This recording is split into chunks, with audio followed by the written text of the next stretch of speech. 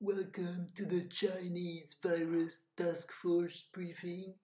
Today, as you can see, we're doing a great job. The stock market is up bigly. I would say we're doing the best job, aren't we? I mean, we're now only projecting 420 billion thousand deaths and 69 days of lockdown.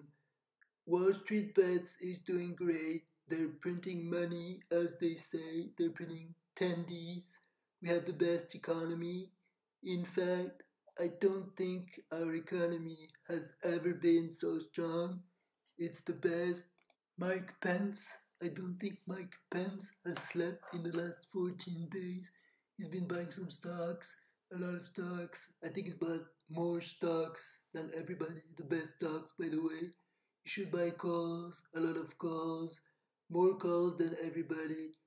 You're going to end up rich like me. Not as rich though, that's impossible, but you're going to end up rich, very rich, believe me. Good night, Wall Street bets, and don't forget to give it a good go once in a while.